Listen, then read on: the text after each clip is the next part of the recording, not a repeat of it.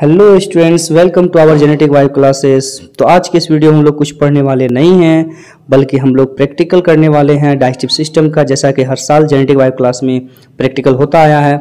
तो इस बार भी हम लोग प्रैक्टिकल ही करने वाले हैं और देखते हैं कि किन किन छात्रों ने कैसा कैसा प्रैक्टिकल किया है और क्या क्या इन्फॉर्मेशन दिया है डाइजेस्टिव सिस्टम के बारे में।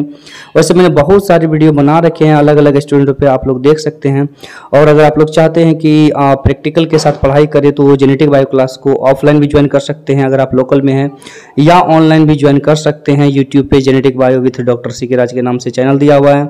तो चलिए देखते हैं कि स्टूडेंटों ने कैसा कैसा परफॉर्मेंस दिखाया है। Let's go. हमारे पास जो सातवीं स्टूडेंट आ चुकी है, उसका नाम वर्षा कुमारी है। वर्षा बहुत हिम्मत बाँध के आई है प्रैक्टिकल करने के लिए और वर्षा जानती है कि बिना प्रैक्टिकल के दुनिया में कुछ नहीं होता है, इसलिए हर चीज़ को प्रैक्टिकली पढ़ना है। तो वर्षा कुमारी हमें बताएँगी बहुत अच्छी बातें। वर्षा कुमारी आप ये बता दो कि ये तो मुझे लग रहा है किसी जानवर का कोई पार्ट है। ये है क्या रियल में? पाचन तंत्र है कि श्वसन तंत्र है? पाचन तंत्र। अब चाहे ये भी बता दो ये शाकाहारी जानवर का है या मांसाहारी जानवर शाकाहारी। जानवर का वेरी गुड अच्छा ये बताओ शाकाहारी जानवर मीट मछली खाते होंगे? नहीं खाते मीट मछली वो क्या खाते हैं? साग खाते हैं। घास खाते हैं वेरी गुड अच्छा एक बात बताओ कि शाकाहारी जानवर में जिस प्रकार हम लोग में बहुत सारे पाचन का सिस्टम होता है, क्या वैसा मांसा शाकाहारी में होता है? नहीं होता वेरी गुड अच्छा ये बताओ शाकाहारी जानवर में जो भोजन आता है, किस हो के आता है?